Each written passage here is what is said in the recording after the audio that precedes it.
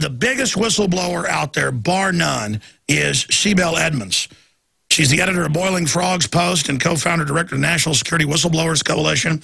She's a recipient of the 2006 PEN Newman's own First Amendment Award.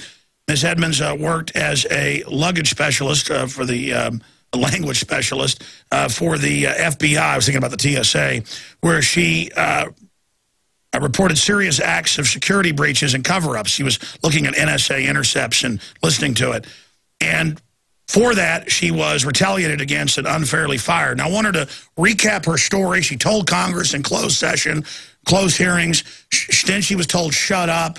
There's other whistleblowers, but they didn't have the courage that she's had to go public.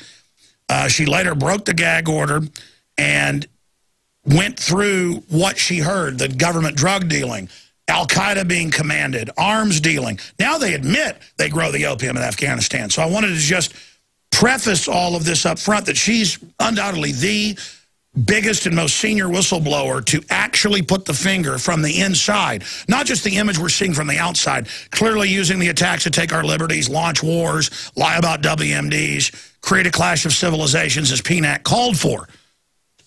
And her website uh, is classifiedwoman.com. She has a new book out in the startling new memoir, Sibel Edmonds, the most classified woman in U.S. history, takes on a surreal journey that begins with a secretive FBI uh, down the dark halls of feckless Congress to a stonewalling judiciary and finally to the national security whistleblowers movement she spearheaded. We'll stop right there and bring her up with us for the balance of the hour, but it's great to have her here with us. Correct any points that I may have gotten wrong. Recap your story, what you heard, and what your book covers.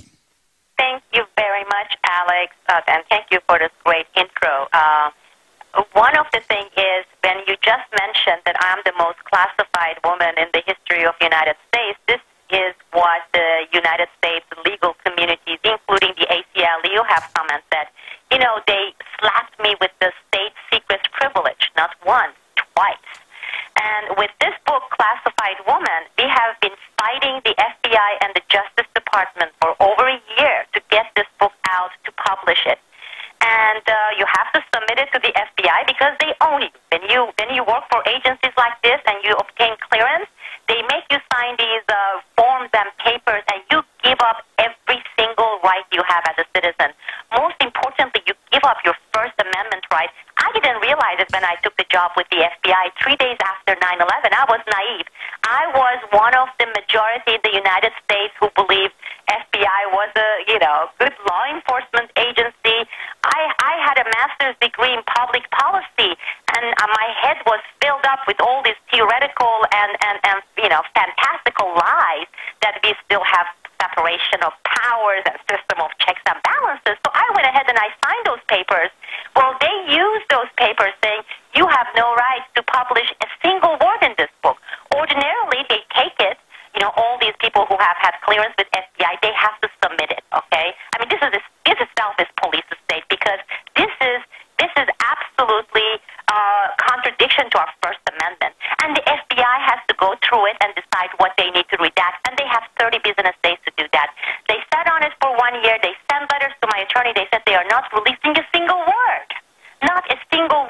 Yeah, and let's well, be clear. Let's tell people what you were doing. You were for the FBI looking at NSA intercepts. So you, three days after 9-11, you get hired. They're hiring a big force to go in there and listen to the Arabic and things. You're hearing Al-Qaeda. I mean, tell people in a nutshell the intercepts, what you heard. Well, first of all, there were several areas where I was working for the FBI, counterintelligence and also counterterrorism.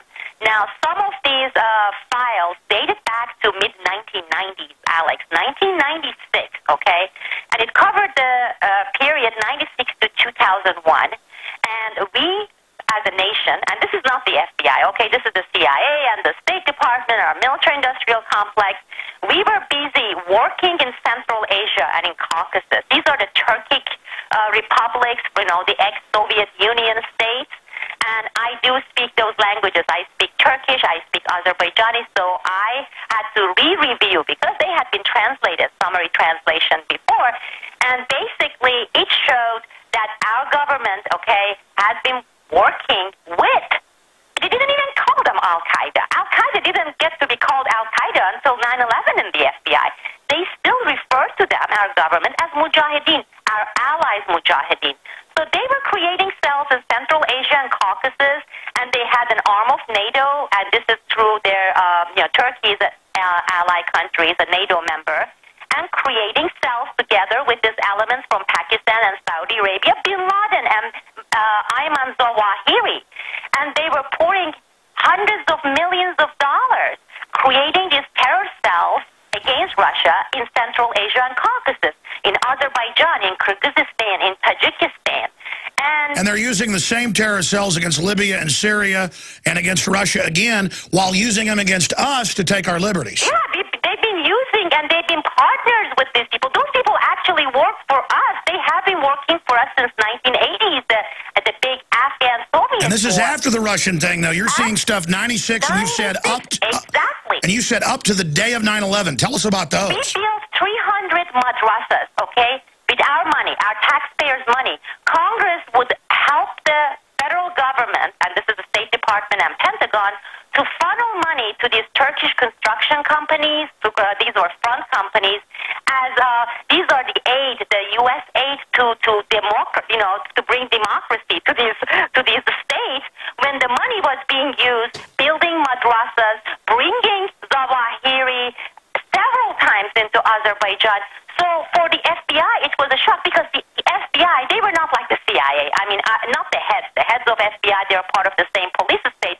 But these agents for years have been calling for real investigations, but they were being shut down by the State Department and the CIA. This was our so-called diplomatic foreign relations. This was what we were doing. We were also doing it in certain regions of China. You know, it's referred to as East. By the way, stay there you know, whistleblowers are protected under the Constitution when they're exposing criminal activity. Folks, you're hearing, I mean, she's she's breaking stuff down here uh, that, that it, again, absolutely proves it. I mean, she saw the intercepts with bin Laden right up to 9-11 under CIA command. We'll be right back, ladies and gentlemen. Sick of the globalist eugenicist control freaks adding poison to your water and laughing as you get sick and die? Start purifying your water with ProPure. My friends, I've done a lot of research, and the best gravity filter out there, bar none, is ProPure. And it's available discounted at Infowars.com. Its filters are silver impregnated to prevent bacterial growth. There's no priming required. It's NSF 42 certified. Optional fluoride filters can reduce fluoride up to 95%. Easy to set up and use. Doesn't require electricity. Purify water from lakes, streams, ponds, and wells. This filter system leaves in beneficial minerals, which is key. Save money by not buying bottled water and avoid BPA that leaches from the plastic. ProPure is the best gravity-fed filter out there. It's what my family uses. Infowars.com already has the lowest price on ProPure. But if you add the promo code WATER at checkout, you get an additional 10% off at Infowars.com. You can also call to order 888-253-3139. She's working for the FBI, and, and, and from what she's saying, there's some good people in the FBI. We know that head of counterterrorism, O'Neill, quit and even told British papers they're working with al-Qaeda, they're going to stage something and use it to launch wars. Yeah, and a lot more. And then, of course, he died on 9-11 in the World Trade Center, if you can believe that. Uh, but going back to Sibel Edmonds and her uh, new book we're going to be talking about, this is a short segment, long segment coming up. We're going to do a commercial-free, long interview with her on Friday on InfoWars Nightly News as well, and hopefully have her on video Skype. Uh, she's on phone today. So, Sibel, uh, continuing, let's get to the nitty-gritty and how you did get the book published. But first, uh, you know, I mean, repeat, because you didn't break the gag order until a few years ago, and, and now you're going even further. And they've been persecuting people that expose them. Uh, obviously, we know there's a whole NSA division that's leaked uh, just to spy on government people that know the truth of 9-11. Uh, but tell folks uh, the relationship with al-Qaeda, drug dealing, weapons, and the CIA, State Department. Break it down for folks. Well, let me give you one very straightforward example. In mid-90s, okay, we, this is U.S. and NATO, they used the largest private Turkish airline, okay, that went into Caucasus and Central Asia, and these, this is this place, Central Asia and Caucasus, had mujahideen from all over the place. You know, Saudi Arabia, Pakistan. Uh, part of the group was actually Chechens, and they brought these mujahideen into Turkey. They gave them Turkish passports. They trained them militaristically for three to six months with Turkish passports. And these individuals, the same Mujahideen, these are the people under Zawahiri, under Bin Laden, they were with NATO planes. Again, Turkey is a NATO country. Were then transferred into Bosnia, you know, back into Albania, Kosovo region. We were working the same thing. We were taking them actually into Romania. And they all held Turkish passports, okay? Well, these people were the people, as I said, we have been partnered with. And then 9/11 happens, and they come out and they say there is, you know, this Al Qaeda, this this this brand that sounds pretty ferocious, Al Qaeda, and then there is this Bin Laden, and these people have been, you know, they hate us and the way we live. Well, I, I always tell people, Alex, terrorists, no matter from where, they cannot take away our freedom. They can't make a dent into our Constitution, not a dent.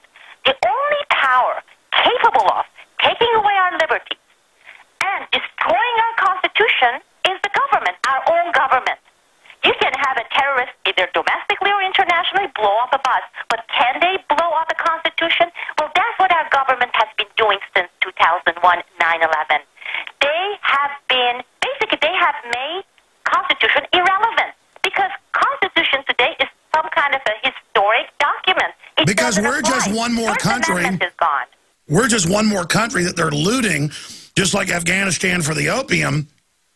And of course, there's all these factions of different groups that want the opium.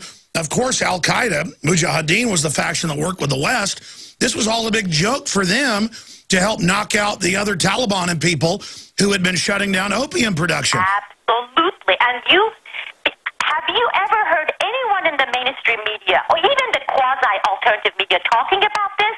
The heroin and opium production is a no no. It's a no no. They won't touch that topic. Look at Afghan GDP. If They don't even have a GDP, right? Well, the whole economy is based on this, and we are looking at hundreds of billions of dollars. Where is it going? They point out once in a while, Time magazine and those crap shooters, they say, look at those guys with shalwar, those bearded guys. They are the warlords who have all the opium.